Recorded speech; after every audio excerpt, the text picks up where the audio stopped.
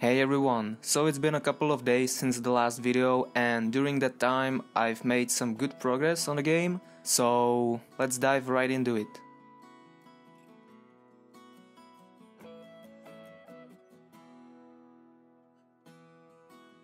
As you can see, the very first thing that now greets you when you open up the game is this main menu. I've been playing with the idea of having the Earth in the main menu for some time and I just wanted to try it really and see how it really would look like. So this is pretty much the first version. It's not complete yet as I'm planning to actually add some mountains or forest. Not a lot of details, but for example, the Africa will definitely not be green and so on.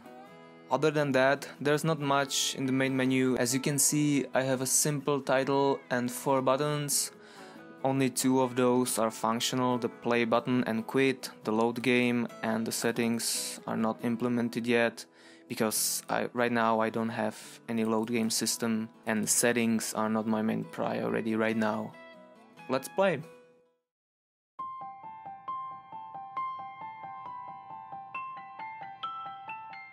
The very first thing that you will notice is this new panel of icons. I've added some new objects just to make a game look a little bit prettier and because I needed those objects to start implementing more functionality to the game.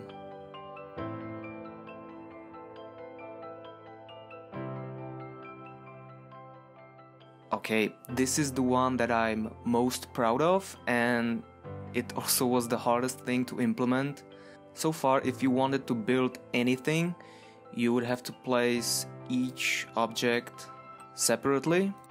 And it works okay for let's say tree or park bench. But where you could really see the limitations was the pavement. Because when you had to click a hundred times to place 100 objects it just wasn't fun. And something had to change it took some trial and error, but after a few hours, I ended up with this. And here you can see the first problem, and it's that when you place more than a few objects, the game just couldn't handle it. I would drop from 100 FPS to like 15, and at that point, the game wasn't really playable anymore. So I had to do something that I really didn't think that I would have to do this early in the development, and that is optimization. I searched the internet and I stumbled upon the Unreal Engine's profiler, so I recorded around 30 seconds of the gameplay, and this is what I found. The first problem was really obvious. When I had the whole world covered with objects, the tick function was running constantly and here you can see that it took 16 milliseconds to receive the tick for the pavement blueprint. The solution was pretty simple, I just disabled the tick for the pavement because right now I don't really have any functionality for it and I don't really know if I ever will have in the future. At that point the game was a little bit more playable but it wasn't where I wanted it to be so I had to start a new profile and dig a little bit deeper. Another problem that I stumbled upon was the occlusion cull. I don't really know much about this topic, so I will just say that I enabled the HZB occlusion and it gave me a nice bump of performance. So yeah, now you can see that I have the whole world covered and we are averaging at around 27 FPS roughly. It's still not perfect, but I really need to move on to another tasks, so I will probably have to solve this at some point later.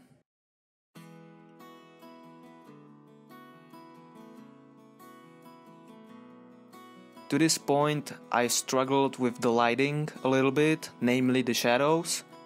Because my game is very dynamic, it means that I can't really bake the lighting and I have to use the movable lights, which resulted in this kind of blurry shadows.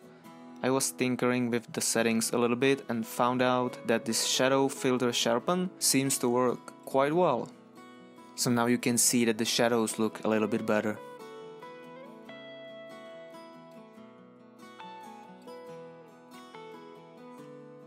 And that's basically it for the game part of things. Other than that, I've been playing with the graphical style of the YouTube channel a little bit. I created a logo, some background art, and the videos now have intro, which is nice. I would definitely like to know your opinion, so let me know down in the comments below what do you think. I would also like to point out that I'm active on other social media like Twitter and Instagram. If you want more content from me, the links are in the description. This is also just the very beginning of the whole journey, so if you want to be a part of the adventure, subscribe. See ya. And something had to change.